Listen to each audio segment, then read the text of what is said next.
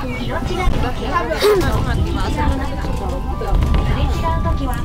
危ないですから窓から顔や手を出さないようにしてください皆様がご乗車のこの赤い色の車両はクラシックタイプでいつも右側を通ります緑色のレトロタイプはいつも左側を通るようになっています ఇక్కడ క్రాసింగ్ ఉంది చూడు రెండు ట్రాక్స్ ఉన్నాయి కరెక్ట్ ఇక్కడే క్రాస్ అయిపోతుంది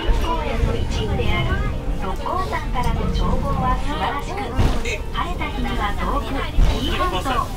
淡路島から明石海峡大橋や関西国際空港神戸空港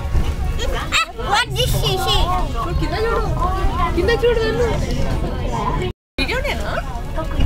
六甲山内東側にある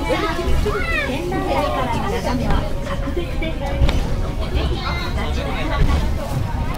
また夜になりますと宝石を釣りばます。いいことは言ってます。